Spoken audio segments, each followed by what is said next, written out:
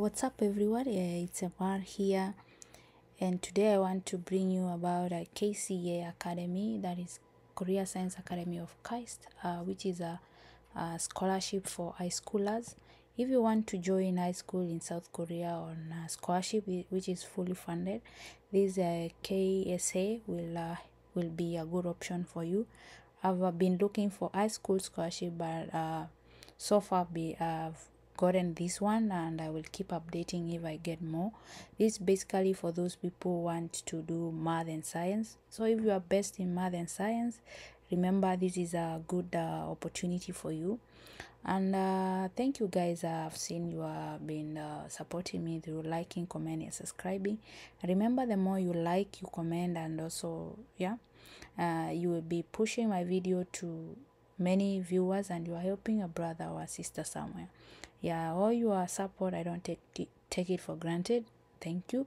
Uh shall we start? And before doing that remember to grab something and watch this video till the end to gain uh, more insight on this ksa uh, scholarship.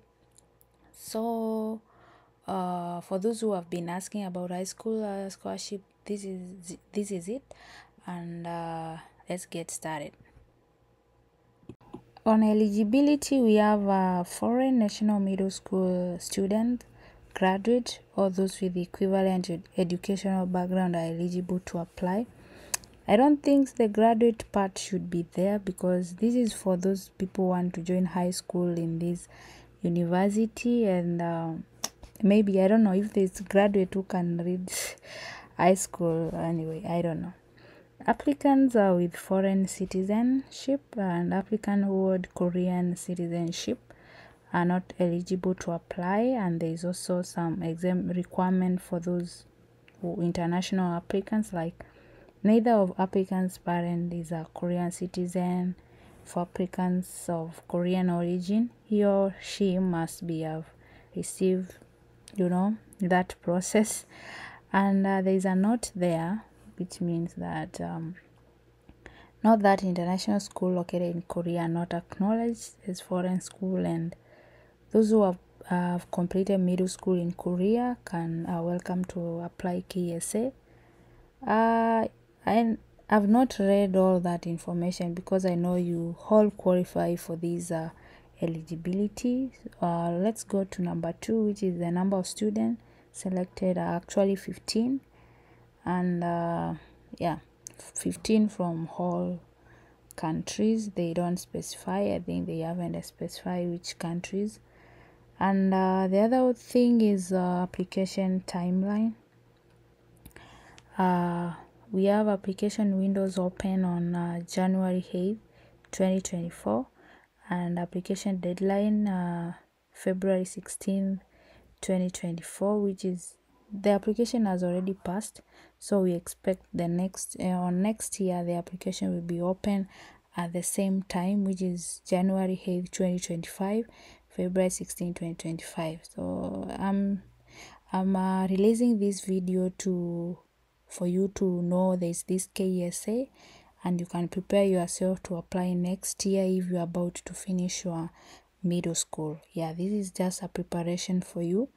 And they, they have like a stage one where you have a written test in mathematics, that is mathematic test. And we have an announcement of first stage results for those who have passed the test. And uh, there is online submission of document if you passed and the second stage, you have oral interviews and um, test is also conducted. Then admission and announcement is done by May 20th. Please note that the schedule may change and also some make sure you submit uh, by deadline stated that is 5 p.m. Korean Standard Time. And uh, due to time consuming for this application, make sure you you at least finish the application one week prior the deadline if you see if you have been following me on scholarship journey you can see how korea uh, put them things in order for application.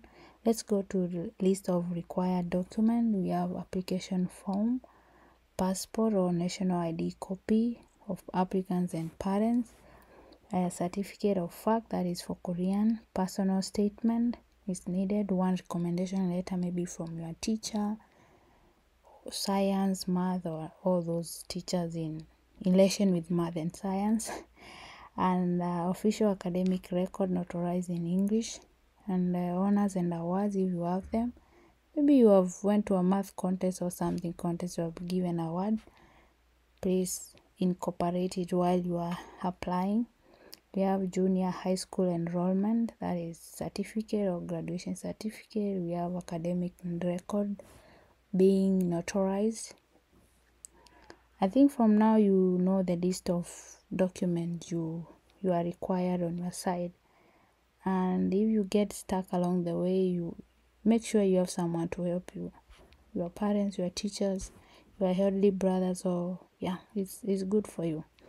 Application document details is application form. You have to finish it online through this website passport or national ID copy, as I've said, make sure the official document in your country, like the one verifies you in that country, you submit them.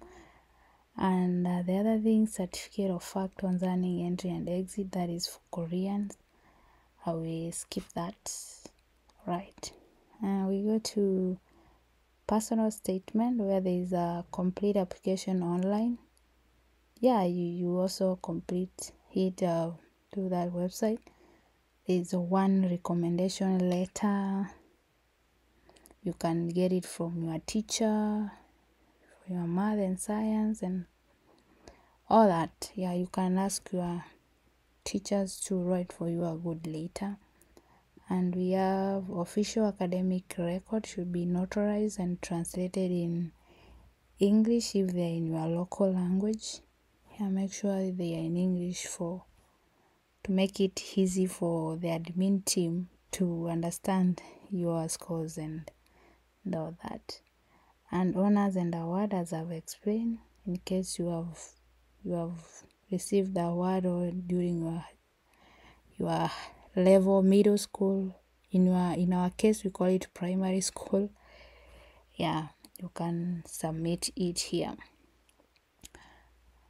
and uh, i think that's all concerning uh, application document. Let's see what they do uh, with respect to selection process.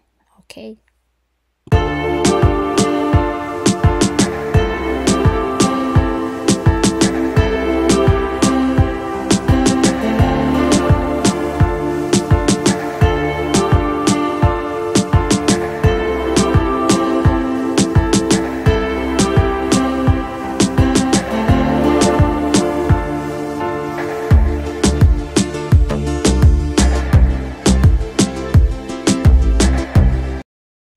is what they consider when you are uh, for you to be a successful candidate. They check on um, math and science performance. They also check your potential interpersonal skills personal accomplishment integrity and leadership. You should uh, put that on mind. And we have uh, that first stage, uh, first stage of a written test, uh, which include mathematics. It's conducted online through a Zoom. Make sure you have those uh, needed, uh, you know, uh, setup like uh, online testing. You have to check it out through maybe stable network environment, computer, monitor, webcam, mobile. Make sure you you are familiarized on on those things. Uh, you can be assisted by your parents or teachers or someone who is helping you and uh, yeah make sure you just familiarize. If you have any question regarding that you can ask me. I will uh, able to help you on how you can do it. And uh, document review and interview are done on the second stage. If you have passed the first stage which is that a test of mathematics you now you go to that review and interview. And if you pass now you go to pre-enrollment education. This is important to those people once uh, you get this uh, scholarship, you have to study mathematics, science, English, and Korean before starting your high school education. It's important, it's mandatory. If you happen to get this scholarship, make sure you participate uh yeah it's it's good for you we go on financial aid uh, where what do they provide actually what do ksa provide uh, uh, for those scholars they, they cover the tuition fee overseas uh, training creative research leadership activity high school research international academy international science uh, fair participation fee they also have like other expenses like a room and board, exit program like Korean culture experiences, healthy holiday programs, uh, pre-enrollment programs, national health insurance of Korea. Uh, that is, they also cover that.